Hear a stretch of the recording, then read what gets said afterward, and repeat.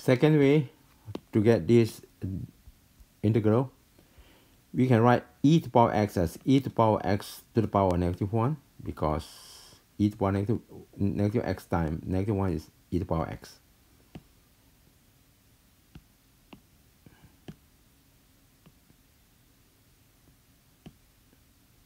i.e. this is equal to that. We can write this as 1 over e to the power of negative x. Take common denominator and then you have upstairs as that. e to the power of negative x go upstairs as this. Everything downstairs is the same. Next, we need to push this into dx.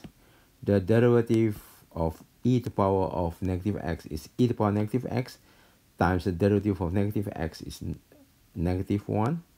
So basically this thing is equal to that. Negative 1 out, you get that. Then you get this. Now we can add a 1. The derivative of this is still the same as that. Now this is a simple integral. The integral of that is